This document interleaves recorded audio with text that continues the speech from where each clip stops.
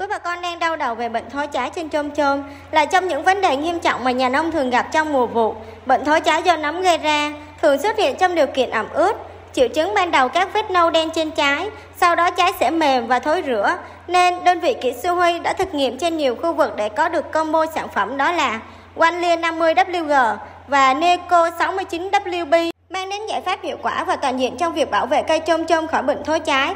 Sự kết hợp này không chỉ giúp ngăn chặn sự phát triển của bệnh mà còn tăng cường sức đề kháng cho cây, dễ pha, dễ sử dụng, giúp quý bà con tiết kiệm thời gian và chi phí. Chỉ cần pha 100g Wanlia 50WG với 500g Nico 69 WB cho 200 lít nước, an toàn hiệu quả. Sản phẩm là sự lựa chọn hàng đầu của nhà nông, giúp gia tăng năng suất và đảm bảo mùa màng bội thu. Vậy quý bà con còn chần chờ gì mà không để lại bình luận bên dưới hoặc gọi số hotline 0898 038 348 để được đơn vị kỹ sư Huy tư vấn và được mua hàng chính hãng ạ. À.